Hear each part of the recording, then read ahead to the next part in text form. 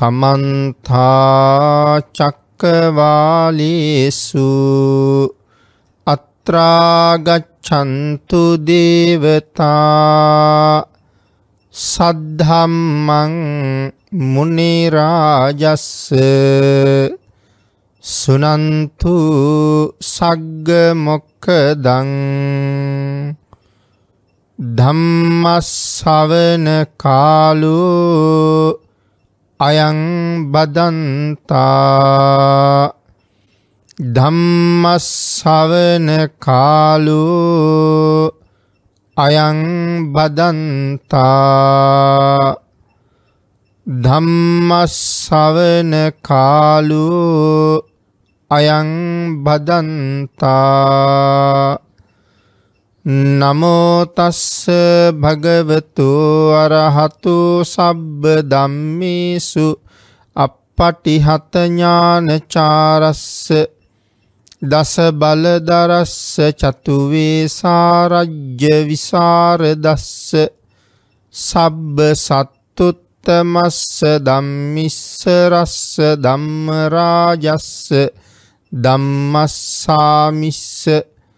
තථාගතස්ස සබ්බඤුනෝ සම්මා සම්බුද්දස්ස නමෝ තස්ස භගවතු අරහතු සබ්බ ධම්මේසු අප්පටිහත ඥානචාරස්ස දස බලදරස්ස චතු වේසාරජ්‍ය විසරදස්ස සබ්බ සත්තුත් උත්තමස්ස ධම්මිස්ස රස්ස ධම්ම රාජස්ස ධම්මස්සාමිස්ස තථාගතස්ස සබ්බඤුනෝ සම්මා සම්බුද්දස්ස නමෝ තස්ස භගවතු අරහතු සබ්බ ධම්මේසු අප්පටිහත ඥානචාරස්ස දස බලදරස්ස චතුවේ සාරජ්‍ය විසරදස්ස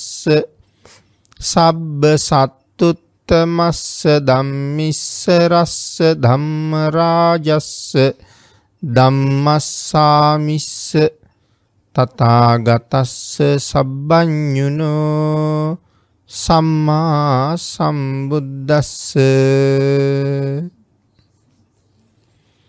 සද්ධර්මශ්‍රාවක සදහැවත් කාරුණික පින්නතුනී බොහෝම ශ්‍රද්ධාවෙන් යුක්තව අදත් මෙ සියලු දෙනාම සූදානන් වෙන්නේ තිලෝගුරු සාන්තිනායක සම්මා සම්බුදුරජාණන් වහන්සේ විසින් ලෝක සත්වයන් පිළිබඳව මහත් වූ කරුණාවෙන් අවබෝධ කරගෙන දේශනා කොට වදාළ පරම ගම්බීර වූ ශ්‍රී සද්ධර්ම රත්නයෙන් බොහෝම පුංචි කොටසක් දේශනා කරවගෙන ධර්ම ගෞරවය පෙරදැරි කරගෙන දේශනාගත ධර්මය ශ්‍රවණය කරන්නත් එසේ ධර්ම ශ්‍රවණය කිරීමෙන් ලැබෙන අවවාද අනුශාසනා තම තමන්ගේ ජීවිතවලට එකතු කරගෙන වඩාත් නිවැරදි මෙලව ජීවිතයක් සකස් කරගන්නත් ඒ තුළින් සුගතිගාමී වූ පරලොව ආයිති භවයකින් සැනසෙන්ඩත් අවසානයේ ප්‍රාර්ථනා කරන බෝධියෙන් සැප සහගත ප්‍රතිපදාවකින් ඉතාම ඉක්මං භවයක උතුම් චතුරාර්ය සත්‍ය ධර්මය අවබෝධ කරගෙන මේ සංසාරෙන් එතරවීමේ බලාපොරොත්තු ඇතුව. ඒ උතුම් බලාපොරොත්තු උතුම් ප්‍රාර්ථනා ඒ ආකාරයෙන්ම මුදුන්පත් කර ගැනීම සඳහා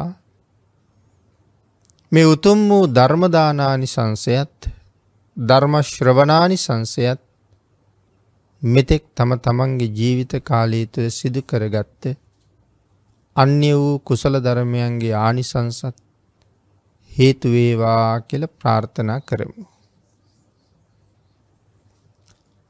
පින්නතන අද ධර්මදේශනාවේ මාතෘකාව හැටියට මේ මරණා නුස්සති භාවනාව නිවැරදිව වඩන්නේ කොහොමද. කියන කාරණාව පැහැදිලි කරන්න අපි මේ දේශනාව සාකච්ඡා කරන්න ගත්තේ මීට කලින් දවසක. අද මේ සිදු කෙරෙන්නේ මරණ අනුස්සති භාවනාව පිළිබඳව දෙවෙනි ධර්ම දේශනාව. අපි පළවෙනි ධර්ම දේශනාව නිමා කරනකොට අවසාන ඉතුරු කරගත්තා මේ මිනිස්සුන්ගේ මරණය සිද්ධ වෙන ආකාර දෙකක් පිළිබඳව භාග්‍යතුන් වහස දේශනා කළා. අපි අර එතන ඉඳලා අද ධර්ම දේශනාව ඉදිරියට පවත්වගෙන යන්න කල්පනා කළා භාගිතුන් වහස දේශනා කරනවා තං කාල මරණං අකාල මරණම්පි ද්විදං හෝති. මේ මරණා නුස්සති භාවනාවට අරමුණු කරන ආකාරයේ මරණ දෙකක් තියෙනවා කියලා. ඒ මරණ දෙක තමයි කාල මරණය සහ අකාල මරණය කියලා කියන්නේ. එතර මොනවද කාල මරණ කියන්නේ මොනවද අකාල මරණ කියන්නේ කියන කාරණාව භාගිතුන් වහස පැහැදිලි කළා ඉපදීමට හේතුවන කුසල ශක්තිය. කෙනෙක් මේ ලෝකෙ ඉපදෙන්නේ පුුණ්‍ය ශක්තියක් නිසානේ. එතට මෙලව පැවැත්ම සඳහා ඇරගෙන ආපු කුසල ශක්තිය ඉවර වුණහම. සිදුවෙන මරණයක් තියෙනවා එකට කියනේ ආයුක්කය මරණය. ආයුෂයේ අවසන් වීමෙන් වෙන මරණය කියල සඳහන් කරනවා. එහෙම නැත්තං සඳහන් කරනවා අරගනාපු ආයුෂයේ අවසං වෙලා මැරුණ එම නැත්තං ඉපදීමට හේතුවන කුසලය ඉවර වෙලා මැරුණ. මේ ආකාර දෙකින්ම මේ කාරණාව සඳහන් කරන්න පුළුවන්. එතට මොනවද අකාල මරණ කියල කියන්නේ. සඳහන් කරනවා මනුස්ස ලෝකෙ ඉපදීම සඳහා අරගනාපු ආයුෂය සහ ඒ උපද්දෝපු පුුණ්‍ය ශක්තිය ඉතුරු වෙලා තියෙනකොට බලවත් කර්මයක් නිසා මැරිලයනවා. ආවිෂයේ ඉතුරුයි එවනතම් පුුණ්‍ය ශක්තිය ඉතුරුයි. අපි මේක කතා කරනවානේ. ආයුක්කය මරණය කම්මක්කය මරණය උභයක්කය මරණය උපච්චේදක මරණය කියලා. එතට ආයුක්කය මරණය කියල කැන ආයුෂ ඉවරයි. කම්මක්කය මරණය කියල කැන කර්මය ඉවරයි. උභයක්කය මරණය කියල කියන්නේ ආයුෂයයි කර්මයයි දෙකම ඉවර වෙලා සිද්ධ වෙන මරණය. උපච්චේ දෙක මරණය කියන්නේ හදිසියේ මරණයට පත්වෙනවා. ආයුෂයක් තියෙනවා. කර්මයක් තියෙනවා. නමුත් කිසියම් හේතුවක් නිසා හදිසියේ මැරෙනවා. ඔක භාගිතුන් වහසේ උපමාවකින් පැහැදිලි කළා පහනක් දල්වලා තියෙනකොට ඒ පහන දල්වන්ඩ යොදාගත්ත තෙල් සහ තිරය සමහර වෙලාවට තිරය දැවිල ඉවරයි නමුත් තාම තෙල් තියෙනවා. තිරය ඉවර නිසා පහන නිමිලා. තව වෙලාවක අපි දකිනවා තිරය ඉතුරු වෙලා තියෙනවා නමුත් තෙල් ඉවර වෙලා පහන නිමිලා. තවත් අවස්ථාවක දකිනවා තෙලුයි තිරයයි දෙකම එකම විදිහට ඉවර වෙලා පහන නිමිලා. හැබැයි තව මොහොතක හදිසියේ හුළඟක් නිසා තෙලුත් තියෙනවා තිරෙත් තියෙනවා ඒත් පහන නෙමිලා. එහෙම නැත්තම් වෙන බලපෑමකින් පහන බිම වැටුන නිසා පහන නිමිලා. එකන ආවිෂයයි කර්මයයි දෙකම තියෙනකොට පුද්ගලයා අතිරේක හේතුවක් නිසා මරණයට පත්වෙලා. මේ කාරණාව පැහැදිලි කරනවා පුුණ්‍යක්ෂය කියන කාරණාව. කෙනෙක් පින ඉවර වෙලා මරණයට පත්වනොත් ඔහු සුගතියට තමයි හේතුවෙන්නේ. පින ඉවරවීමෙන් මරණයට පත්වෙලා අපහු සුගතියට තමයි යන්නේ. නමුත් සඳහන් කරනවා නිරයේ උපදින්නේ කුසල ශක්තියෙන් නෙමෙයි නිරයේ උපදින්නේ පින ඉවර වෙලත් නෙමෙයි දෙනම් නිරේ උපදින්නේ පව නිසා කියලා. නිරයෙන් චුතවෙන්නේ පව ඉවර වෙච්ච නිසා. පව නිසා නිරේ උපදිනවා පව ඉවර වුණ කාලෙක නිරයෙන් චුත වෙනවා. එතොට පින්නතුන මෙන මේ කාරණාව පැහැදිලි කරනකොට තව විස්තර කරනවා ආයුෂය ඉවර වෙලා තිබියදී ප්‍රතිසන්දිය ඇති කරවන කර්මයාගේ මහළු බව නිසා ඇතිවෙන මරණය ඒට කියන්නේ පුුණ්‍යක්ෂය කියලා. ආයුෂය ඉතුරුයි. මේ ලෝකෙ ප්‍රතිසන්දිය ඇතිකරවපු කුසල ශක්තියේ මහළු බව කියල කියන්නේ ඒ කුසල ශක්තිය ඉවරයි. ඒ කුසල ශක්තිය ඉවර නිසා මරණයට පත්වල එකට කියෙන පුුණ්‍යක්ෂය මරණය කියලා. පින ඉවර වෙලා මැරුණා. සතර අපායේ උපදවන මරණයට මෙහෙම කියන්නේ නෑ පව ඉවරවීම නිසා සිද්ධ වෙන මරණයක් කියලා ඒ කාරණාව සඳහන් කරනවා. මේක තවත් ඉස්සරහට විස්තර කරනකොට අටකතාවල් වල මේ ආයුෂය මරණය මේ කාරණාව විවිධාකාරයෙන් තව විස්තර කරනවා යම් පුද්ගලයෙකුගේ ඉපදීම පිළිබඳව ගතිය කාලය ආහාරය නිසා. ඒ පුද්ගලයාගේ ආයුෂයේ විවිධ විවිධ වෙනස්කං තියෙන්ට පුළුවන්. එක සඳහන් කරනවා අද කාලෙ මිනිස්සුන්ගේ ආයු ප්‍රමාණය යම් තරමක්ද. එතකට ඒ කියන්නේ මේ කාලේ වැඩිම ආයුෂයක් බුක්ති විඳිනවන කොච්චර කාලයක් ජීවත්වෙන ඇද්ද. සාමාන්‍යයෙන් කලාතුරකින් අපට අහන්ඩ ලැබෙනවා අවුරුදු එකසිය පහක් විතර ජීවත් වනා කියලා. සමහර කෙනෙක් අවුරුදු එකසිය තුනක් එකසිය හතරක් ජීවත් වනා කියන කාරණාව වර්තමානය අපි අහනවා. එතොට යම් කාලයක යම් පුද්ගලයෙක් මෙන්න මෙච්චර කාලයක් ජීවත් වනා කියල සඳහන් කරනවා නං වැඩිම ආවිෂයක් සාමාන්‍යයෙන් ඒ කාලිට පරමාවිශය කියල සලකන්නේ ඒ ආයු ප්‍රමාණයයි. නමුත් එහෙම කෙනෙක් ඉන්නේ ඉතාම කලාතුරකින්නේ. භාගිතුන් වහන්සේගේ කාලේ පරමාවිශය අවුරුදු එකසිය හැටයි කියල සැලකුවේ. එතට කවුද එකසිය හැටක් වැඩහිටියේ බක්කුල මහරහතන් වහන්සේ අවුරුදු එකසිය හැටක් වැඩහිටියා. ගිහිකාලි ගිහි ජීවිතය අවුරුදු අසුවක් ගත කළ අවුරුදු අසුවෙන් තමයි පැවිදි වෙන්නේ. පැවිදි ජීවිතෙත් අවුරුදු අසුවක් ගත කරනවා. අනුරුද්ධ මහරහතන් වහන්සේ අවුරුදු එකසිය පණහක් වැඩඉඳල තියෙනවා. දිවස්ලාබීන් අතර අගතනතුර ලබන අනුරුද්ධයන් වහන්සේ අවුරුදු එකසිය පණහක් වැඩඉඳල තියෙනවා. සබ්භකාමී මහරහතන් වහන්සේ අවුරුදු එකසිය හතලිහක් වැඩඉඳල තියෙනවා.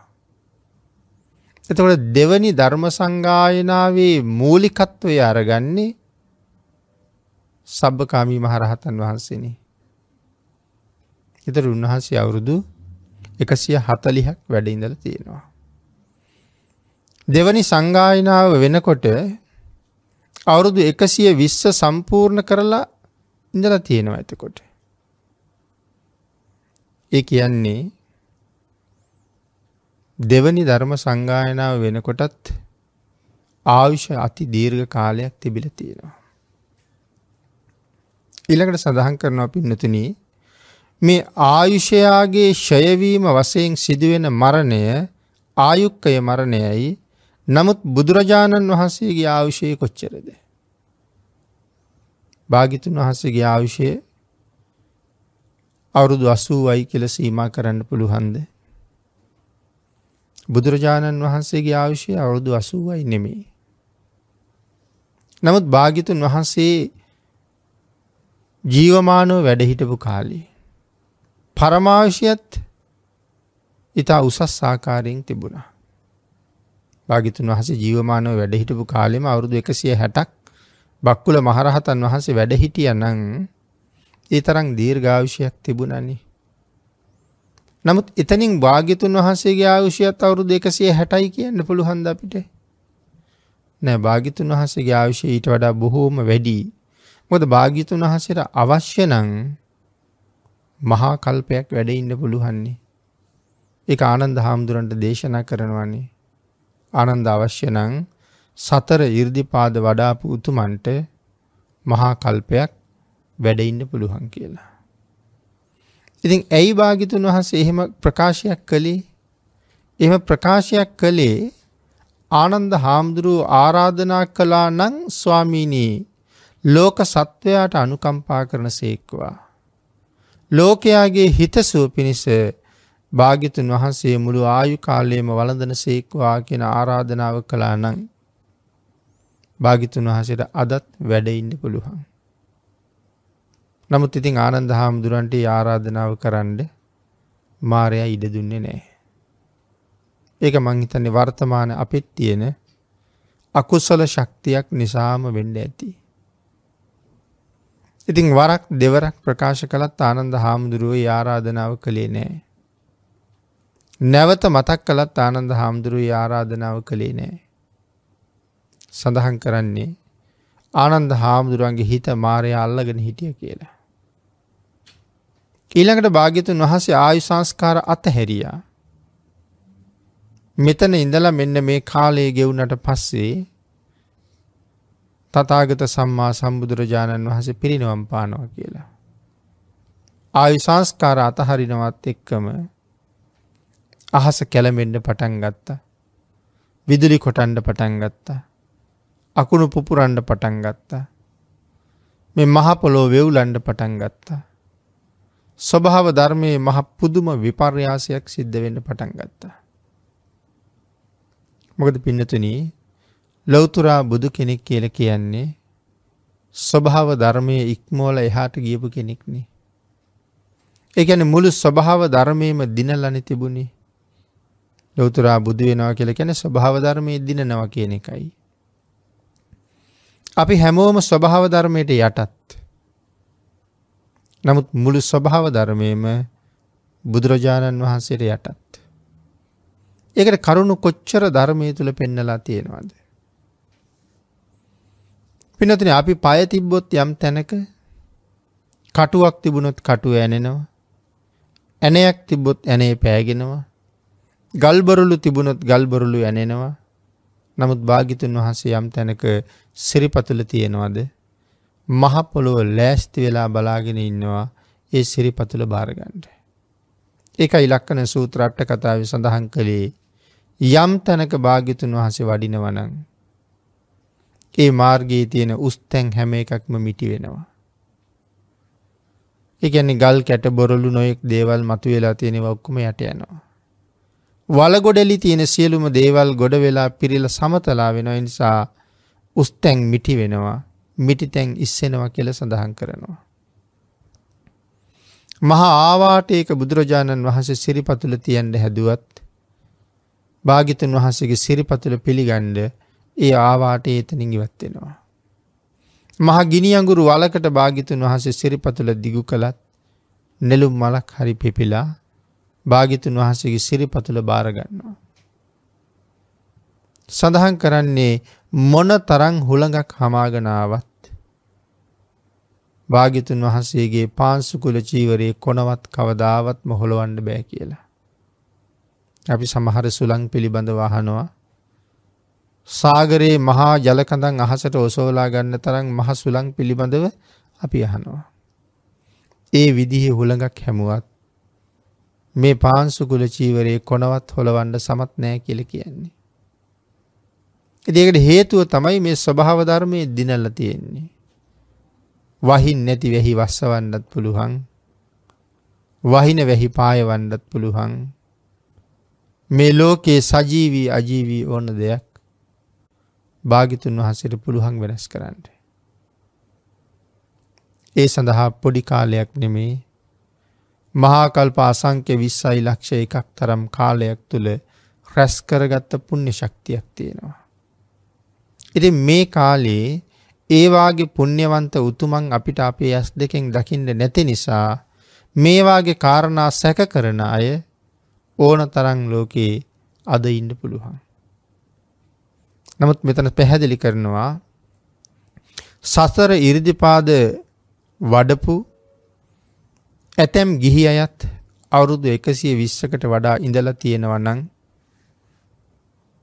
සතර ඉද්ධපාද වඩපු නෙමේ පිනතින සතර ඉද්ධපාද වඩල නැති ගිහි අයත් ඒ කාලෙ අවුරුදු එකසිය විස්සක් ජීවත් වෙලා තියෙනවා නං සතර ඉරිදිපාද වඩල තියෙන ඒ ප්‍රමාණය මනාව සම්පූර්ණ කරලා තියෙන ලොවතුරා බුදුරජාණන් වහන්සේට ආයුස් කල්පයේ වැඩඉන්න බැරියයි කියලා. ඒ කාරණාව විශේෂයෙන් පැහැදිලි කරනවා අචින්තයේ අප්‍රමාණ ගුණයන්ගෙන් යුක්තයි කියන කාරණාව භාගිතුන් වහන්සේ. මොද ලොවතුරා බුදු කෙනෙකුගේ ගුණය මෙච්චරයි මෙපමණයි කියලා අපි කාටවත් තීරණය කරන්න බෑනි. එක සඳහන් කළේ තවත් ලොවතුරා බුදු කෙනෙකුටවත් තීරණය කරන්න බෑ කියලා. බුද්ධෝපි බුද්ධස්ස බනීය වන්නන් කප්පම් පිචේ අ්‍ය මබා සමානු. කීඒත කප්පෝ චිරදීග මන්තරයේ වන්නෝන කීඒත තතාගතස්ස. එක ලොවතුරා බුදුරජාණන් වහන්සේ නමකගේ අසී මාන්තික බුද්ධ ගුණය. තවත් ලොවතුරා බුදු කෙනෙක් මහා කල්පයක් පුරාවට දේශනා කළුත්. මහා කල්පය ඉවර වෙනවා දේශනා කරන්න තව බුදුගුණ ඉතුරු වෙනවා. එකැන මේ අපි කතා කරනවා වගේ ද ලොවතුරා භාගිතුන් වහසගේ දේශනා විලාසයේ සඳහන් කරන්නේ ඇල්ලක් පහලට ගලනකොට අතුරු සිදුරු නැතුව වතුර වැැක්කෙනෙනවනි. ශ්‍රීමක දහත්තුවෙන් ගලාගෙන යන දහම් ගඟුලත් අතුරු සිදුරු නැතුවම ගලනවා කියලා. ඇයි මොන තරම් වේගෙන් කතා කරනවාද බුදුරජාණන් වහන්සේ. සාමාන්‍යයෙන් අග්‍රපස්ථායක ආනන්ද හාමුදුරුව. එක වචනයක් අපි උදාහරණයට ගමු අම්ම කියල කියනකොට. ආනන්දයන් වහන්සේ එක පාරක් අම්ම කියනකොට සැරියුත් මහරහතන් වහසේ අට පාරක් අම්මි කියල කියනවා. මන්ඩි වාග විලාසේතුට කොච්චර වේගවද්ද කියලා. සැරියුත් මහරහතන් වහන්සේ එක පාරක් අම්ම කියනකොට ලොවතුරා බුදුරජාණන් වහන්සේ අට පාරක් අම්ම කියනවා. එතකොට සඳහන් කරනවා සාමාන්‍යයෙන් අපි කතා කරනවා නම් අපි එක පාරක් අම්මි කියනකොට. ආනන්ද හාමුදුරුව අට පාරක් අම්මි කියනවා. ආනන්ද හාමුදුරුව එක පාරක් අම්ම කියනකොට සාරිපුත්තයන් වහන්සේ අට පාරක් අම්ම කියන වචන පාවිච්චි කරනවා. එතකොට අපි එක පාරක් අම්ම කියනකොට සැරියුත් මහරහතන් වහන්සේගේ මුවෙන් හැට හතරවතාවක් අම්ම කියන වචන පිට වෙනවා.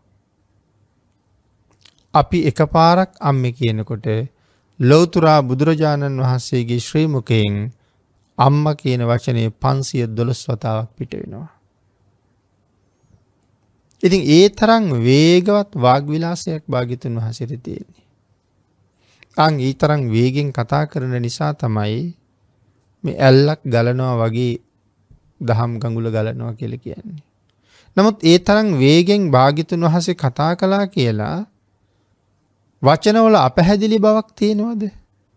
දැන් අපි එහෙම කියන්න ගියොත් නං කියන වචන කියවෙන්නේ නේ. මොද අපේ දිව ඒ තරම් වේගෙන් නැමෙන්නේ නෑ. ඉතින් මේ සඳහා අවශ්‍ය පින් සංසාරි ඇති තරං පුරල තියෙනවා. අනික භාගිතුන් වහසගේ ජිව්හා දහතුව මල් පෙත්තක් වගේ කියල කියන්නේ. බොම වේගෙන් ඕන පැත්තකට නැමෙනවා. ඉති මේවාගේ කාරණා ගොඩක් නිසා භාගිතුන් වහසට බොහොම වේගෙන් දිවහසුරුවන්ට පුළුවන්කම තියෙනවා. අෂ්ටංග සමන්වාගත බ්‍රහ්මස්වරය මොන තරං මිහිරි වෙන්ඩ ඇද්ද. ධර්මාශෝක මහරජ්ජිරුවන්ගේ එක බිසවක් අසන්ධි මිත්‍රා සෝවාන් උනෙත් කුරවි කිරිල්ලකගේ හඬා හලනි. මොද භාගිතුන් වහසගේ ශ්‍රීමක නාදය කුරවීක නාදය වගේ කියලනි කියන්නේ. ඊට වඩා අතිශයින්ම මිහිරී වෙන උපමා කරන්න හඬක් නෑනේ. එහින්ද කුරවී කනාදී කියන කුරවි කුරුල්ලු කෑගහනකොට එ ප්‍රදේශය මත් වෙනවා කියල කියන්නේ. සාගරී පීනෙන මාළුවෝ ජලයේ මතු පිටින් ගමන් කරනවා කියනවා මේ හඬ අහන්ඩ. අහස ඉගිල්ලෙන කුරුල්ලු පියා සලන එක නතර කරනවා කිය නතර කරලා මේ කුරවීක පක්ෂීන්ගේ හඬාහගෙන ඉන්නවා කියනවා. මුවෙක් පිටිපස්සෙන් කොටියෙක් කෙලවනකොට මරණ බයින් දුවන මුවා මේ කුරුල්ලගේ හඬ ඇහුනහම ඔසවගත්ත පාදයේ බිමතියන්ට මතක නැතුව හඬට සවන් දෙනවා කියනවා මරණ බය පැත්තක ගිල්ලා. පිටිපස්සෙන් එලවන කොටියත් එහෙමයි. ඒ තරන් හඬක්. එති මේ කතාව අහලා අසන්ධි මිත්‍ර දේවියට හිතෙනවා මේ කුරුල්ලෙකුගේ හඬ අහන්ඩෝන කියලා. ධර්මාශෝක රජ්ජුරු කූඩුවක් හදල හිමාලයට යවල කුරුල්ලෙ කරගෙනවා. කුරුල්ලු ගේන්ඩ වෙන කවුරුත් යන්නේ ඉබේම කූඩුවම තමයි යන්නේ. කූඩුවම ගිහිල්ල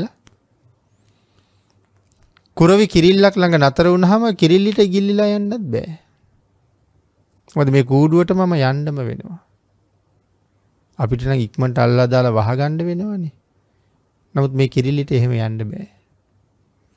මේ කූඩුවට යන්න වෙනවා හිද කූඩුවට රිංගනවා. කූඩුවට රිංග ගත්ත හම කූඩුවා පහු රජ්ජිරෝගාවට එනවා. ඉතින් කිරිල්ලි අරගෙන එලියෙන් තිබ්බට කෑගහන්නේ. කන්න බොන්නෙත් නෑ ඔහේ නිදාගත්ත වගේ ඉන්නවා. කුරුළු විශේෂඥයෝ ගෙනල්ල රජ්ජිරෝ කාරණාව වැැහුවම කියනවා මහරජය මෙයා කෑගස්ස වන්ඩ පුළුවන් මෙයා කතා කරවන්ඩ නං නෑදෑයු පේන්ඩ ඉන්ඩෝන කියලා. නැත්තම් මේ ගොල්ලු කතා කරන්නේ. ඉඳ එහෙමන නෑදෑයු පේන්ඩ නං ආය කුරුල්ලුගේ ඉන්ඩිපෙයි.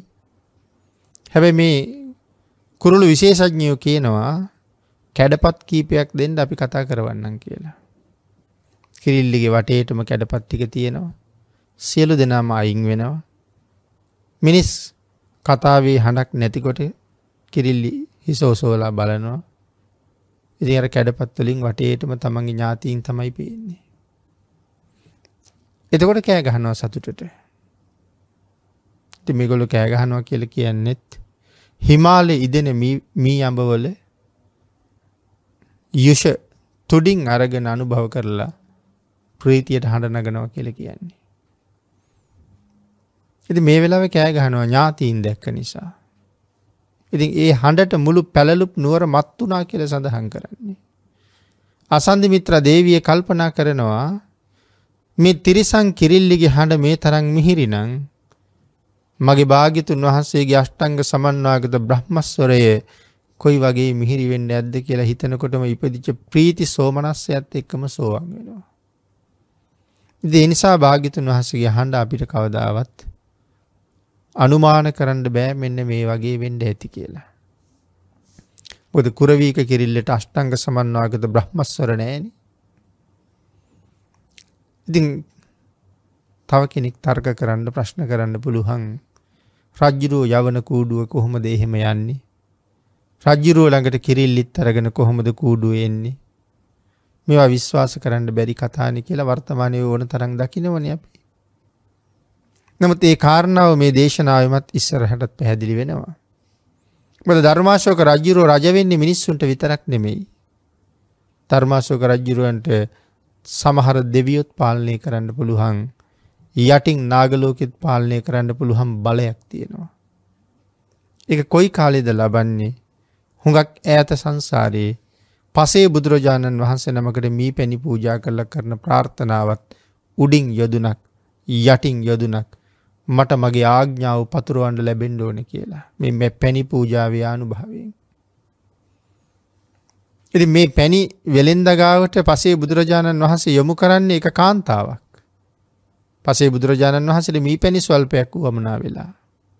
ස්වාමීන් ඉස්සරහට යන්න පැණි විකුණන තැනක් තියෙනවා කියලා යොමු කරන්නේ මේ කාන්තාව. පැණිපාත්‍රයක් පුරෝලා දන් දෙනවා. ඒ පැණිපාත්‍රයක් අරගෙන ආපහු එනකොටත් අර කාන්තාව ඉන්නවා. ස්වාමීනී මේ පැණි ලැබුණද කියලා අහනවා ලැබුණ කියනවා. ස්වාමිනී මී පැණි දුන්න කෙනා මුකුත් ප්‍රාර්ථනා කලාද කියලාහනවා. එතර ඔහුගේ ප්‍රාර්ථනාව බුදුරජාණන් වහන්සේ ඇයට මතක් කරනවා. අංගේල ඇත් ප්‍රාර්ථනා කළා ස්වාමිනි මහපොලෝට රජ වෙනකොට උඩින් යොදුනක් යටින් යොදුනක් බල පරාක්‍රමය පතුරෝනේ ඔහුගේ රජ වෙන ආත්ම භාවේ ඕගේ බිරිඳ වෙන්න මට පින් ලැබෙන්න ඕනෑ මොකද ඒ ප්‍රාර්ථනාව ඔහුට කරන්න භාගිතුන් වහසේ තෙන්ට යොමු කළේ මමයි. ආංගේ කාන්තාවත්තාව ප්‍රාර්ථනා ගොඩක් කරනවා. අන්න ඒක නිසා තමයි අන්තිම ජීවිතයේ ධර්මාසක රජ්ජුරුවන්ගේ විසව වෙලා ඉප දෙනවා අසන්දි මිත්‍ර කියලා නම තියන්නේ ඇගේ කිසිම නැමෙන තැනක් පේන්නේ නෑ. තැක අපේන නැමෙන තැන් පේනවනේ. නමුත් ඒ ශරීරයේ නැමෙන තැනක් හොයන්න බෑ. නැමෙන නැමෙන්ඩ ඕන තැනින් නැමෙනවා. නමුත් නැමෙන තැනක් හොයන්ඩ බෑ. ඒකයි අසන්දි මිත්‍ර කියල කියන්නේ. ඉතින් තමන් සිද්ධ කරගත්ත පින අනුමෝදන් කලා තමන්ගේ සහෝදරයෝ දෙන්නට. ඒ පින අනුමෝදන් කරනකොට ඒ සහෝදරයෝ දෙන්න ඒ පින හැල්ලු කරලා කතා කළා. එක්කෙනෙක් කියන ඔබේ පින අල්ලා දාපන් සාගරයෙන් එහාට කියලා පින් අනුමෝදන් කරනකොට. පින් දෙනකොට පිනට නිග්‍රහ කරලා කතා කරපු නිසා ඒ සහෝදරයම තමයි දේවානම් පීතිස්ස වෙලා ලංකාව උපදන්නේ. සාගරින් එහාට පින විසික්ක පංකී වන්නේ. දැන් එතකොට ආය සසරි උපදිනවා සහෝදරයෝ දෙන්න සාගරින් දෙපැත්තේ. ඒ පින තවත් හැල්ලු කරපු අනික් කෙනා තමයි නිග්‍රෝධ සාමනේරයන් වහන්සේ. නමුත් පස්සෙ කාලිපින් අනුමෝදන් වෙනවා. ඉති නිග්‍රෝධයන් වහන්සේ නිසාම තමයි ධර්මාශෝක රජ්ජිරුවා පහු දහමට ලෙදි කෙනෙක් බවට පත්වෙන්නේ. මේ සහෝදර පිරිස සංසාර සම්බන්ධතා. එතට ඔබේ මගේ සම්බන්ධතා මේ ඥාති පිරිසගේ සම්බන්ධතා අපි සංසාරි කොහොම සම්බන්ධතා ගොඩනැගෙන්ට කොහොම කොහොම කටයුතු කරලා ඇද සසරී. මේ සසරි ස්වභාවය ලොවතුරා බුදුරජාණන් වහන්සේ හැර අපිට වෙන කවුරු කියල දුන්නද. ඉතින් ආංගර බල පරාක්‍රමයක් තියෙනවා උඩුන් යොදුනක් යටින් යොදුනක් ඉඳ නාගයෝ පවා යටත් ධර්මාශෝක රජ්ජිරුවන්ට. එහිදයි බල පරාක්‍රමය ඇතුළේ ඉන්න අර කිරිල්ලිට මේ ළඟට කූඩුව යවහම අයි ගිලිලා යන්න බෑ එ මේ හිමාලි ඉගිලිලා ගියාන කවුරු හොයන්ඩද. නමුත් ඒ තේජස නිසා යන්න පුළුවන්කමක් නෑ. තමන්ගේ ඉදිරියෙන් යන සුනකයකුට රජ්ජුරුව කිවොත් ඔතන නවතින්ට කියලා. කෑම වතුර නැතුව මෙරල වැට්නකං නත් එතනින් හැට යන්න බෑ. එක බල පරාක්‍රමයක්. ඒව සංසාරි පින් කරලා කරගත්ත ප්‍රාර්ථනා. කෙසේ වෙතත් සඳහන් කළේ ලොවතුරා බුදුරජාණන් වහන්සේ අසී මාන්තික අචින්තෙය අප්‍රමාණ ගුණයකින් යුක්තයි කියන කාරණයට කරුණු කොච්චර මේ ධර්මය තුළ සඳහන් කරන්න පුළුවන්ද. අන්න ඒ නිසා ධර්මයෙහි සඳහන් කළේ සියලු මහ බෝසත්වරු මේ ලෝකෙ උපදිනකොට පූර්ව භාග සෝමනස්ස සහගත අසංකාරික ඥාන සම්ප්‍රයුක්ත විපාක සිතකින් මනුලෝ උපදින නිසා මේ අන්තිම ජීවිතයේ මනුස්ස වර්ෂා සංකේයක් ආවිශයි කියලා. බොසතාණන් වහන්සේලගේ අන්තිම ජීවිතයේ මනුස්ස වර්ෂ අසංකේයක් ආවුෂයි කියල සඳහන් කරනවා අංගේ පිනට ඒ නිසා සියලු බෝසත්වරු අසංක්‍ය ආයුෂ්කයි කියල සඳහන් කරනවා කියල කියල තියෙනවා. ඒ පිළිබඳව විස්තර කියල තියෙන දීගනිකායේ මහා පදාන කියන සූත්‍ර දේශනාවේ අට්ට කතාවේ. භාගිතුන් වහන්සේට අවශ්‍යනං මහා කල්පයක් වැඩඉන්ඩ පුළුවන් කියන කාරණාව. භාගිතුන් වහන්සේගේ ආයුෂය වෙලා සඳහන් කරනවා පිරිනිවං පානුවනං වර්ෂ අසංකේයක් වැඩ ඉඳලා පිරිනිවං පාණ්ඩ භාගිතුන් හසිට පුළුවන් කියලා. ඒකට උදාහරණ ගොඩාක් රහතන් වහන්සේලත් පෙන්න්නනවා. අසංකේයක් වැඩ ඉන්ඩ පුළුවන් කියන කාරණාවට. අං ඒ අතර සඳහන් කරනවා බුදුරජාණන් වහන්සේට පුළුවන් නං මාස දහයක් සමාපත්තියෙන් යුක්තව තමන් වහන්සේගේ රෝගය යටපත් කරන්න. මකදද තිබුණ රෝගය ලෝහිත පක්කන්දිකා කියන රෝගයේ. ධ්‍යාන බලයෙන් මාස දහයක් යටපත් කළා. එතට මාස දහයකට පස්සේ නැවත රෝගය ඇතිවෙනකොට ආයෙත් භාගිතුන් වහන්සේට ඒ රෝගය යටපත් කරන්න බැරිද සමාපත්ති සුවයෙන් ධ්‍යාන බලයෙන් කියන කාරණාව අහනවා. එතකොට භාගිතුන් වහන්සේගේ ධ්‍යාන ශක්තිය සමාපatti බලය තියෙන්නේ මාස 10ක් විතරද? නෑ අවශ්‍ය නම් මහා කල්පයේ පුරාවටම රෝගය යටපත් කරලා වැඩ ඉන්න පුළුවන් කියන කාරණාව තහවුරු කරනවා. සමහර අය කියන්නේ ආයුෂ් කල්පේ නම් ජීවත් වෙලා වැඩ ඉන්න කාලේ විතරක් කියලානේ. ජීවත් වෙන කාලේ තමයි ආයුෂ් කල්පය. ඒක වැරදි. ඒක මිත්‍යා දෘෂ්ටියක් කියන කාරණාව මනවින් පැහැදිලි කරනවා කප්පන්ති ආයු කප්පන් කියන කාරණාව පැහැදිලි කරන තැන. මේ මතයට මහාසීව මහරහතන් වහන්සේ තමයි අර තර්කය ඉදිරිපත් කරන්නේ මාස දහයකට රෝගය යටපත් කරන්න පුළුවන්නන් මාස දහයෙන් දහයටුනත් රෝගය යටපත් කර කර ආයුෂ්කල්පයම වැඩ ඉන්න පුළුවන් කියලා. මහාසිවතරුන් වහස තමයි ඒ තර්කය නගන්නේ. ඊළඟට පිනතිරි සඳහන් කරනවා ලෝතුරා බුදුරජාණන් වහන්සේගේ ඉරදි බලය මේ ලෝකෙ කාට දවතක් සේරු කරන්න පුළුවන් කියලා. රහතන් වහන්සේලාටත් අවුරුදු දහස් ගණන් පවතින ඉරදි දක්වන්න පුළුවන් නං ඇයි භාගිතුන් වහසිට ඊට වඩා ඉරදි දක්වන්න බැරිද කියලා. රහතන් වහසල කොතනද අවුරුදු දස් ගණන් ඉරදි දක්වලා තියෙන්නේ. ඇයි පින්නතින හොඳ උදාහරණයක්න අපේ මහසෑය.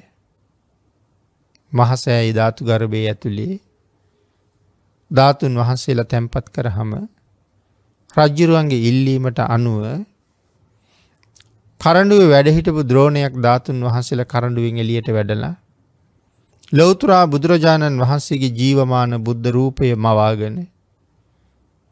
එදා උපවත්තන සාල වනෝද්‍යානය පරණිර්වාණ මංචකයේ සැතපිලා හිටිය යම් විදිහකටද අදත් ධාතු ගර්භය ඇතුළේ ඒ ධාතුන් වහන්සේල වැඩ ඉන්නේ භාගිතුන් වහසගේ ජීවමාන රූපකයින්මයි. කොතන වැඩ හිටිය වගේද පරණිර්වාණ මංචකයේ වැඩ හිටපු විදිහට. මොදටගම් රජුරු එහෙම ආරාධනාවක් කලානේ තැම්පත් කරන්න කලින් අහසට පැනනගල බුද්ධරූපය මවාගෙන යමක මහා ප්‍රාතිහාරය දක්වන්ඩ ඒ ධාතුන් වහන්සේලට පුළුහන්නං ස්වාමීණී මා සකස් කළ මේ ස්වර්ණමය මණ්ඩපය මත භාගිතුන් වහසේ ශාසනය පවතින තුරුම පර්නිර්වාණ මංචකේ වගේ වැඩවසන සේක්වා කියලා. ඉති ඒ විදිහටම භාගිතුන් වහන්සේගේ රූපකය මවාගෙන සවනක් ගන බුද්ධරශ්මි ජාලා විහිදුව විහිදුවම තමයි අදත් වැඩඉන්නේ. එති ඒ නිසායි අතීතයේ මහ පණ්ඩිවරු මේ සෑය වන්දනා කරන්න ගාථාවක් නිර්මාණය කළේ. පාලියෙන් සයති කියල කියන්නේ නිදාගන්නවට. නමුත් මේ ගාථාවි තියෙන්නේ කොහොමද සයිංසූ කියලා. ඇයි සයිංසූ කියල කියන අතීත කාලයි. සයින්සු කිය හම නිදාගත්තා හ වෙනවා. සයින්සු යස්මින් සුගතස්ස ධාතු නිම්මාය රන්සුජ්ජල බුද්ධ රූපං. සුගතයන් වහන්සේගේ ධාතුන් වහන්සේලා ස්වර්ණවර්ණ වූ බුද්ධකය නිර්මාණය කරගෙන මේ මහසෑය ඇතුළේ සැතපුනාහ සුවන්න මාලීති පතීත නාමං යම් තැනක භාග්‍යතුන් වහන්සේ එහෙම සැතපිලා ඉන්නවද එතන ප්‍රසිද්ධයි ස්වර්ණමාලී මහසෑය කියලා. වන්දා මහංතූප වරං මහක්ගං ඒ මහා අනර්ග අග්‍ර වූ සෑය මා විසින් වඳිමී කියල තමයි අපි ඔය ගාථාව කියල වඳින්නේ. එතට එදා ධාතුන් වහන්සේ වඩා හිඳවලා රහතන් වහන්සේලා පූජා කරලා මල් අධිෂ්ඨාන කලාට පස්සේ. තාමත් ඒ මල් මේ දැන් නෙලල පූජා කලා වගේ පැන් ඉහෙපු දිය බිඳිති දරාගෙනම තාමත් සුවඳ හමනවා. එදා ඇතුළේ දල්ලපු යම් පහනක් තිබුණ නං මේ දැන් දල්වපු සුවඳ තෙල් පහන් වගේ තාමත් ඒ පහන් සුවඳ දිදී දැල්වෙනවා. එදා වනාපු සුවඳ මිශ්‍ර වැලි යම්සේ සුවඳ හැමුවද අදත් ඒ වැලි ඒ විදිහටම සුවඳ හමනවා. එතකොට අපි මේ කාරණාව කියන්නේ ධර්මය පොතේ පතේ සඳහන් නිසානි. අපි කවුරුවත් මහසෑ ඇතුළට ගිහිල බැලුවේ නෑනි. නමුත් පින්නතුනි භාතිකාබේ මහරජ්ජුරු රහතන් වහන්සේල එක්ක ගියානෙ මහසෑය ඇතුළට. ඉ භාතිකාවේ රජ්ජුරුව කොහොම ඇතුළට එක්ක ගිය කියන කාරණාව ටිකක් දීර්ගව විස්තර කළ යුතු කරුණක්. මොන තරං ශ්‍රද්ධාවක් තිබුණද කියන කාරණාව අපිට තීරණය කරන්න බෑපින්නතුනේ. අපි දන්නවා මහසෑය කොච්චර උසද කියලා. භාතිකාබේ රජ්ජුරුව තමයි මේ මුළු සෑයම තන්නේ කරම සමම් පිච්ච මල්වලින් වහපු එකම රජ්ජුරුව. හිතන්ට සමම් පිච්ච මලින් මේ සෑය වහන්න කොහොම කර්තව්යක් කරන්න ඕනෙද කියලා. අක්කර ගානක සමන් මල් වවලා සමම් පිච්ච වවලා. රත් හඳුන් අඹරලා කල්කයක් හදලා. ඉස්සරලා සෑය පුරාම මේ කල්කය ආලේප කරලා. තලපයක් වගේ. සමල් මල් නෙලල ගෙනල්ලා අර කල්කය තුළ මල් නැට්ටෙන් නැට්ට මැට්ටෙන් නැට්ට මලින් මල මලින් මල මලින් මල ගෑවෙන්ඩ අර සඳුන් කල්කේ තියෙනවා. මල් නටුව සඳුන් කල්ගේ ඇතුළට යනවා මල ඒ නිසා රැඳිල තියෙනවා. තීරණය කරන්න පුළුහන්ද කී කාලයක් මේ වැඩේ කරන්න ඇද්ද කියලා. මුළු සෑයම සමන් මලින් වහන්ඩ. සමන් මලින් මුළු සෑයම වහලා මල් පරවෙන නිසා ජලමෝටර යොදලා සෑය මුදුනට ඉතාම සියුම් ජලබිඳිති යොමු කරලා තියෙනවා. ඒ ජලය ලබාගණ්ඩ සකස් කරගත්ත පොකුණු දෙකත් අදත් මහසෑය දෙ පැත්ති තියෙනවා. භාතිකාබේ රජ්ජුරු හදාපු පොකුණු එකක් තමයිරුවන් වැලිසෑය පන්සලේ මිදුලි තියෙන ලොකු පොකුණ අනික් පොකුණ එහැ පැත්ති තියෙනවා. මෙහෙම කෙනෙකුට කරන්න හිතක් පහළ වෙනවා කියන කාරණාව හිතන්ඩ සමම්පිච්ච මල කියන කොච්චර පුංචි මලක්ද. ඒ පූජාව කරපු භාතිකාබේ රජ්ජිරු ඊට පස්සේ මුළු සෑ මළුවේ සියලු ගේට්ටු අවහිර කරලා ජලය පුරවලා මුළු මුළු ගල් මළුවම නිල් මානෙල් මලින්ම වහනවා. එහෙමත් පූජාවක් කරලා රජ්ජුරුව ඊළඟට අධිෂ්ඨානයක් කරනවා මට මගේ මුත්තනුවන් දැකින්ට ලැබුණේ නැත්තං මෙච්චර කරලත්. මං මේ සෑමලුවේ උපවාස කරලා මැරෙනවා කියලා. රජුරු උපවාසයේ පටන් ගත්තා. දවස් ගණන් ගෙවිල යනවා. රහතන් වහන්සේ ලධිෂ්ඨාන කරලා බැලුවා මොහු කරන්නේ ඇත්තම උපවාසයක්ද නැත්තං මේක නිකං ව්‍යාජ එකක්ද කියලා. ඇත්තටම භාගිතුන් වහසේ දකිින්ට ලැබුන් නැත්තං රජ්ජුරුව මළුවම මිය යනවා කියල දැනගත්තා. ඊට පස්සේ රහතන් වහන්සේ නමක් තමයි සෑය ඇතුළට රජ්ජුරුව එක්කරගෙන යන්නේ.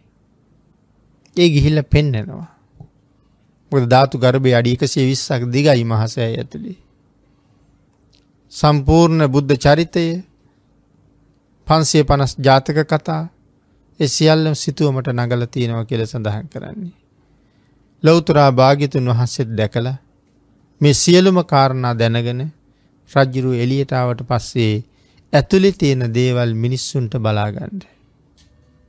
විශාල මණ්ඩපයක් හදලා මහසෑ ඇතුළි තිබිච්චි සියල්ල සිත්තම් කරලා තිබුණ කියල කියන්නේ භාතිකා බේ රජ්ජිරුවන්ගේ කාලේ. ආංගෙදා රජ්ජුරුවෝ දැක්කා රහතන් වහන්සේලා අධිෂ්ඨාන කරපු පහන් තාම දැල්වෙනවා මල් තාම සුවඳ හමනවා සුවඳ වැලිවලින් තාම සුවඳ නිකුත් වෙනවා. කියන කාරණාව රජ්ජිරුව මනාව ප්‍රකාශ කරනවා. රහතන් වහසලගේ අධිෂ්ඨානය. එතකොට අවුරුදු දහස් ගණන් ඉදිරියට පවතින්ට අධිෂ්ඨාන කරන්න රහතන් වහන්සලට පුළුහන්නං ඇයි භාගිතුන් වහන්සේට මහා කල්පයක් වැඩින්ට අධිෂ්ඨාන කරන්න බැරිද. පිනතින අපේ බුදුරජාණන් වහන්සේ පිරිනවං පාලා ධාතුන් වහන්සේලා අධිෂ්ඨාන කළා පිරිනිවන් පාණ්ඩ කලින් ඒ ධාතුන් වහසල බෙදල දුන්නා නැවත අජාසත රජ්ජුරුව ධාතුන් වහසල එකතු කළා මහා කාශ්‍යප මහරහතන් වහන්සේ අවුරුදු හතයි දවස් හතයි මාස හතක් අවුරුදු හතයි මාස හතයි දවස් හතක් ඒ ධාතුන් වහසලට බුද්ධ පූජාව කළා. වර්තමානිත් බුද්ධ පූජාවට හුඟක් දෙනා බනිනවනේ. මොකද මේ කාලෙ බොහෝ මිනිස්සුන්ගේ කල්පනාව රට දුප්පත් වෙලා තියෙන බුද්ධ පූජාව හින්ද කියලා. මුදාහාර ගොඩක් අහක යනවා කියලා මිනිස්සුන්ට හුඟක් දුකයි වගේ. එහින්ද මේක අඥ්ඥාන ක්‍රියාවක් හැටියට දකින්නේ. සමහරයි බුදු දහම සහ මිත්‍යාව කියල බුද්ධ පූජාව පෙන්න්නන්නේ.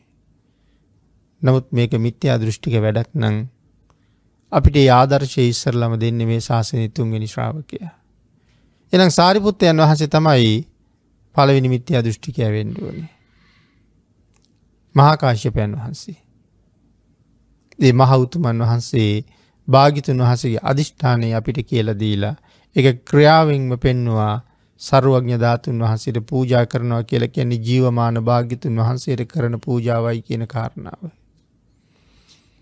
එති ඒ නිසා අදත් ඒ භාග්‍ය අපි ලබල තියෙනවා.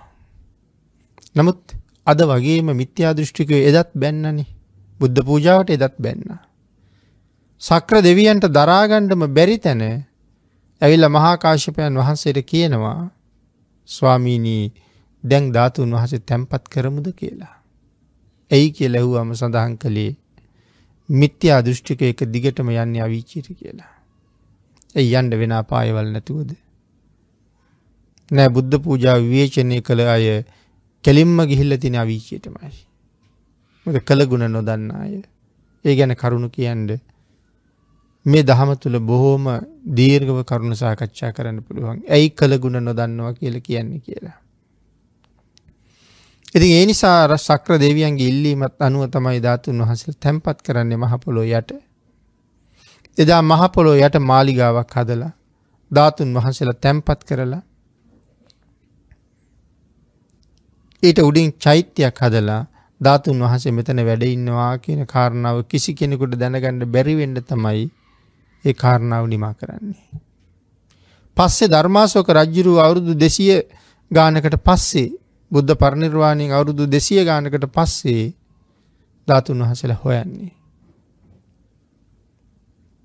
නමුත් හැම තැනම හෙව්වත් හම්බුන්නේ. එක භික්‍ෂූන් වහස නමක් කියනවා මහරජතුමනී ධාතුන් වහන්සේලා වැඩ ඉන්නවා කියල මම හිතන තැනක් තියෙනවා මොද මගේ ගුරුවරයා බොහොම වයසයි උන්වහන්සේ හැමදාම ගිහිල වඳින තැනක් තියෙනවා. එතට ගිහිල්ල බලහම තියෙන කළුගල් වලින් හදපු චෛත්‍යයක් ඒ චෛත්‍ය හාරලා කඩල බැලුව ධාතුන් වහසල තිබුණේ නෑ ඒ ස්ථානයේ තමයි වර්තමානය අපි වාල කණ්ටක චේතිය කියල ගිහිල්ල වන්දනා කරන්නේ. නමුත් අර භික්‍ෂූන් වහසේ තරේම කියනවා මෙතන ධාතුන් වහසේ වැඩ ඉන්න මෝන කියලා. රජුරඊට වස මහපොළුව හාරවණ්ඩ පටන් ගත්තා. එතොට මාලිගාවක සලකුණු හම්බ වෙනවා. මනාව මාලිගාව සුද්ධ පවිත්‍රක පිරි පිට පැත්තෙන් පාදලක පාදගත්තා. දොරවල් තියෙනවා අරින්ඩ. දොරවල් ගණනාවක් තියෙනවා ඒ දරවල් සියල්ලම ඇරගෙන ඇරගෙන යනකොට එක දොරක් තියෙනවා ඒ දොර එතන හට අරින්ඩ බැරුවයනවා. ඒ දොරගාව ගොඩ ගහලතිනවා රංග්‍රදී මුතු මැනික් ගොඩක්. එතන හසුන් පතක් ලියල තියෙනවා. දුප්පත් අය ඇවිල්ලා මෙතරින් එහට එල්ලියට යන්ඩපා ඇතුළට යන්ඩපා කියලා. මේ රංග්‍රදී මුතුමැනි කරං යන්ඩ ඇතුළට එන්ඩපා කියල කියන්නේ.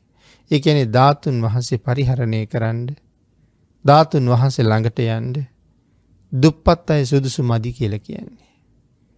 පිනතිරි වැරදියට හිතන් එපා මෙ දුප්පත් අය කියල කියන්නේ ආර්ථිකයෙන් දුප්පත් අය ගැන නෙමෙයි කියලා තියන්නේ. සීලයෙන් දුප්පත් අය ගැන. සිල් නැතුව එන්ඩ එපා බුදුරජාණන් වහස ගාවට කියලයි මේ කියල තින්නේ. ඉතින් අන්ගේ වෙලාවේ රජ්ජුරුවන්ට ගොඩක් දුක හිතෙනවා. මංවාගේ රජකුටත් දුප්පත් කීවද කියලා.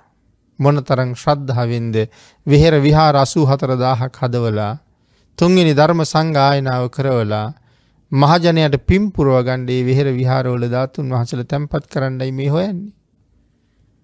දීප චක්‍රවර්ති මටත් දුප්පත් කීවද කියලා. හැබැ නැවත හසුන් පතක් තියෙනවා.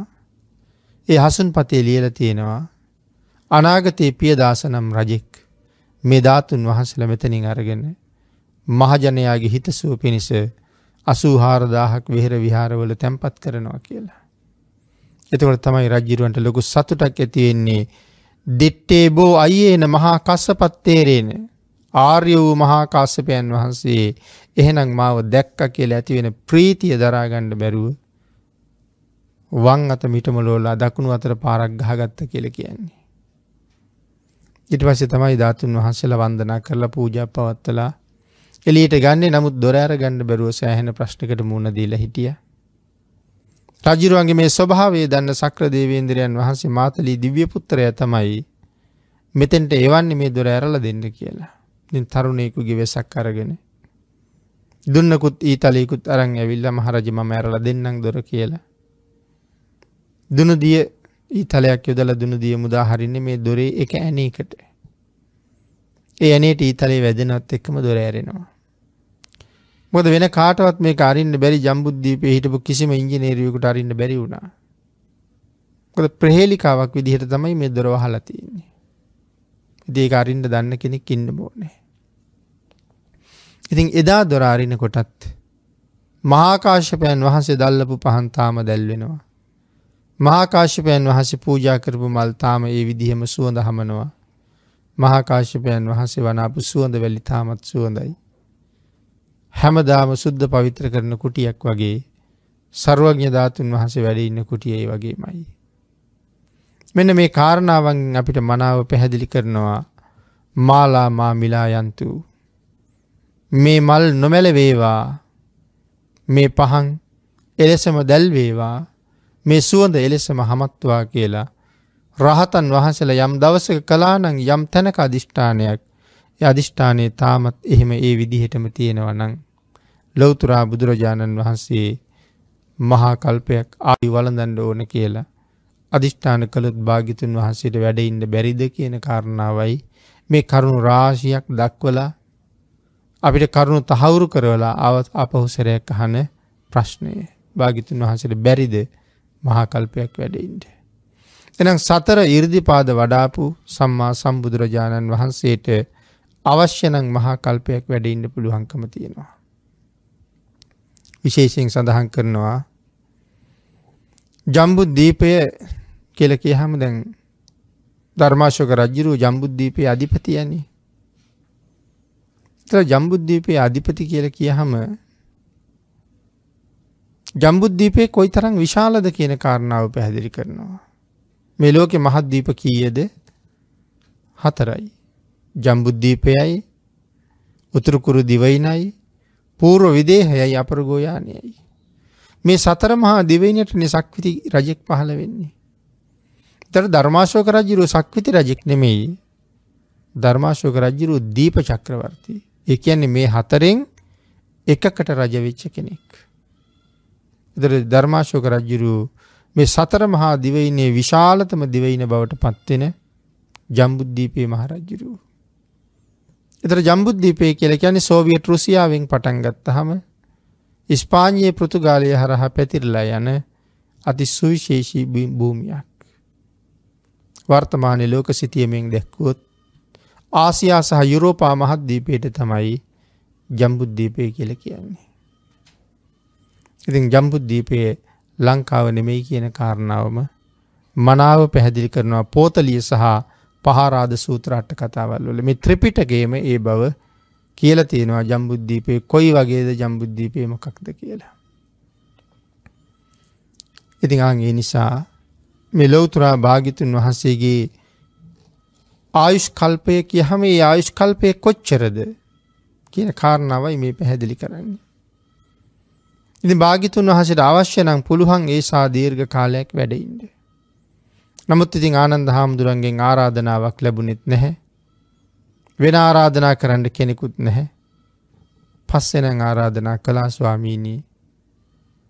ලෝක සත්වයාගේ හිතසුව පිණිස මහාකල්පයක් වැඩවාසය කරන සේක්වා කියලා. නමුත් සඳහන් කලා ආනන්දයිනී මං ඔබට අවස්ථාත් තුනක් අවස්ථාව දුන්නා. නමුත් ඒ අවස්ථා තුනේම ඔබ මට ආරාධනා කළේ නෑ. ලොවතුරා බුදුවරු කවදාවත් ගන්න තීරණය වෙනස් කරන්නේ. මං අධිෂ්ඨාන කළා අහවල් කාලි පිරිනිවම් පාන්ඩ. මෙයින් මාස මෙච්චරක් ගත වුණහම පිරිනිවම් පානව කියලමන් තීරණය කළා ඒ තීරණය අය වෙනස් වෙන්නේ අනන්ද කියල කියන්නේ. බුදුවරුන්ගේ තීරණ වෙනස් වෙන්නේ කවදාවත්. ඉතින් කෙසේ වෙතත්. මම කියන්නේ අපට භාග්‍ය තියෙන නැතුව ඇති. භාගිතුන් වහස දැක දැකම නිවන් දකිින්ට. නවත් මේ මරණ සති භාවනාව කතා කරන මේ දේශනාවෙන් ආයු කාලයේ කොහොමද භාගිතුන් වහසගේ ආයු කාලයේ කොහොමද ආයුක්කය කම්මක්කය උභයක්කය උපච්චය දෙක කියන්නේ කොහොමද කියන කාරණාවල් ටික අපි සාකච්ඡා කළා ධර්ම දේශනාවට තියෙන කාලයේ නිමාවෙමින් තියෙන නිසා. මරණ සතිය පිළිබඳව ධර්ම දේශනාවේ දෙවනි දේශනාව අපි මේ විදිහට නිමා කරමු භාගිතුන් වහසේ අගේ කොට වදාළ නිරන්තරයෙන් හැම කෙනෙක්ම ප්‍රගුණ කළ යුතුයි කියලා දේශනා කොට වදාළ. හැම කෙනෙකුගේම ජීවිතයේ ප්‍රගුණ කරලා තියාගන්න එක තමන්ගේ යහපතට ඉතාම වටිනව කියල දේශනා කොට වදාළ මරණ සති භාවනාව නිවැරදිව වඩන්නේ කොහොමද කියන කාරණාවට කරුණු පැහැදිලි කරන්නයි මේ දේශනා මාලාව පටන් ගත්තේ. ඒ උතුම් දේශනා මාලාවේ දෙවෙනි ධර්ම දේශනාවේ දායකත්වය ධර්මින් ලක්වැසි ලෝවැසි සියලු දෙනාටම ප්‍රඥා රූපවාහනී මාධ්‍ය ඔස්සේ ඒ දේශනාව දානය කරන්න කටයුතු කරන දායක පින්වත් පිරිස බලංගොඩ කිරිමැටි තැන්න අනඳ මෙත්පුර පදිංචි දන්තික අමරසිංහ මහත්මා KW එරන්දි ශශිකා මහත්මිය සහ නිතේෂ් නෙත්සර අමරසිංහ පුතනුවන් විසින් දායකත්වය දරණ බව සිහිපත් කරනවා. උතුම් මරමුණ නිර්වාණාවබෝධය ප්‍රාර්ථනා කරමින් සියලු දානයන් අතරින් උතුම්ම දානය වන ධර්මදානමය පුුණ්‍ය කර්මය සිද්ධ කර ගැනීම ප්‍රධාන අරමුණ කරගෙන ඒ උතුම් ධර්මදානමය කුසලේ හේතුකටගෙන සුජීවත්ව සිටින සුනීතා අඹේපිටිය මෑණියන් හට සහ ඇගේ දූ දරුවන් ඩඒ දුමරා මාලිනී මෑණියන් KW ගුණවර්ධන පියාණන් හා දූ දරුවන් KG කුමුදුනී මංගලිකා මෑණියන් සහ රන්මල් ලසන්ත පුතනුවන් යන සියලු දෙනාටම නිදුක් නිරෝගී දීර්ඝායුෂ ප්‍රාර්ථනා කරන අතර තව තවත් කුසල් දහම් වැඩීමට උතුම් පින්කම් වල නිරත වීමට කායික සුවය මානසික සුවය ප්‍රාර්ථනා කරන අතර කෙටිම කාලයකින් සැප සහිත ප්‍රතිපදාවකින් උතුම් චතුරාරි සත්‍ය ධර්මය අවබෝධ වේවා.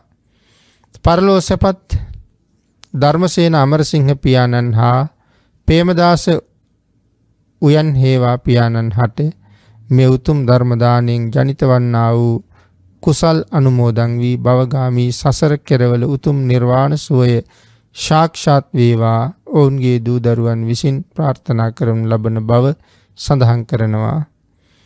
දේශකයාණන් වහන්සේ ඇතුළු සියලූම මහා සංගරත්නයට මේ කුසල් අනුමෝදන් වී නිදුක් නිරෝගී සුවය සලසේවා ප්‍රාර්ථනා කරන බෝධියකින් ඉක්මං භවයක සැප සහිත ප්‍රතිපදාවකින් උතුම් චතුරාර්ය සත්‍ය ධර්මාවබෝධය ලැබේවා.